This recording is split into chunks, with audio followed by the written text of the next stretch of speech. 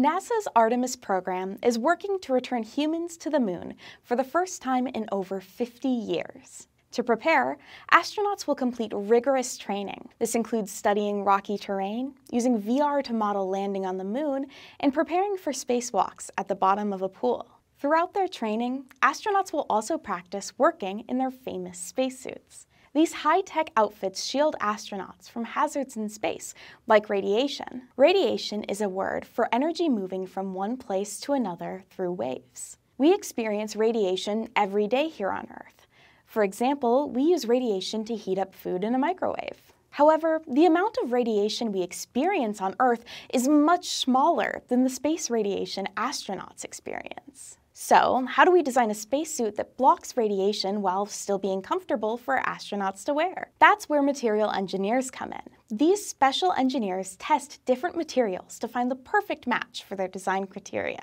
In this activity, modified from NASA, we'll be working as material engineers to see which of our test materials do the best at meeting the criteria of blocking radiation, or light, from a flashlight. For this activity, you will need the following materials. A flashlight, at least four to five different materials to test. Here's a few examples I'll be using. Cardstock paper, cardboard, tissue paper, tinfoil, and a piece of fabric. And don't forget your science notebook or some extra paper and something to write with. Start by copying this table or design your own in your science notebook. Before testing materials, make a prediction for how well each material will block out light. Record these predictions in your table. Now it's time to test. Practice safety by placing the testing material against your flashlight before turning the flashlight on. Never look directly into the flashlight. With the material secured over the flashlight, turn on the light. What do you notice? Is the light fully blocked or are you noticing light coming through the material? If you can see light, how bright is it? Be sure to record your observation using your table. Continue testing each material and recording what you observe. After testing your materials, it's time to compare the results.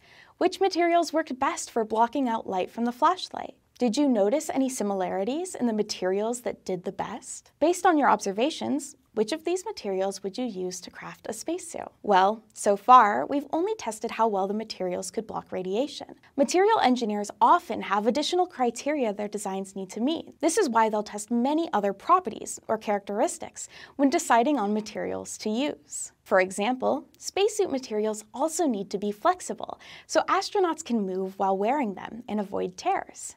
We could try testing the flexibility of our test materials by gently pushing on the edges. Can you think of any other properties that might help keep astronauts safe while working in space? Could properties like color, texture, or weight play an important role in our designs? As you brainstorm additional properties, try thinking of ways you can test how well the materials you're using meet any new criteria. I hope you have fun practicing these engineering skills. To learn more about the Artemis program and how NASA is preparing for the future of human spaceflight, be sure to check out the links included in the description of this video.